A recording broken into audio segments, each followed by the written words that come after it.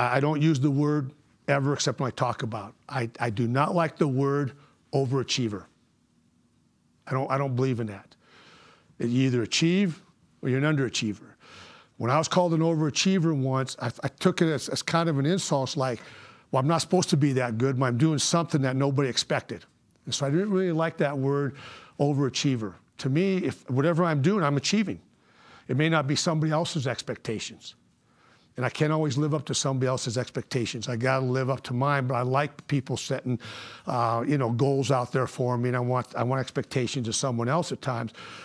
But I didn't want to live under that umbrella that says, well, you're an overachiever. That means that uh, pretty soon your luck's going to run out, or you're going to get to the point where you can only go so far. So I believe achieving. What's the limit? What's the ceiling on achieving?